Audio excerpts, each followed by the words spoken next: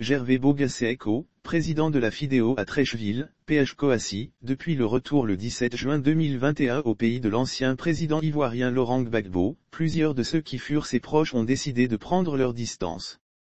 Ces derniers, refroidis du fait que Laurent Gbagbo n'a pas pu réunir toute l'opposition auprès de sa personne, ont laissé transparaître leur désarroi. C'est le cas du président de la Fondation pour les droits de l'homme et la vie politique, FIDEO, Gervais Bogasséco. Dans ses différentes sorties publiques, celui qui est récemment revenu de son exil fait savoir que ses espoirs se sont effondrés depuis le retour de Laurent Gbagbo au pays.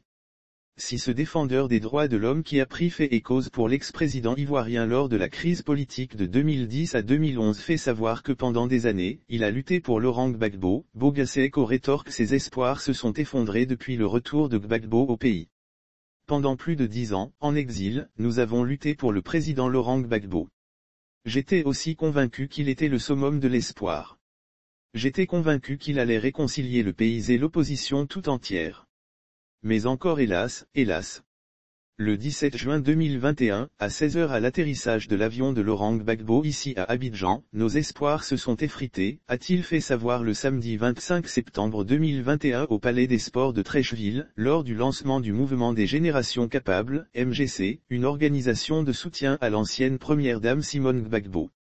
Ce nouveau postulat de Laurent Gbagbo qui ne semble pas plaire à Bogasé l'emmène d'Irat et il a affirmé que c'est la raison pour laquelle il faut changer de cap aussitôt.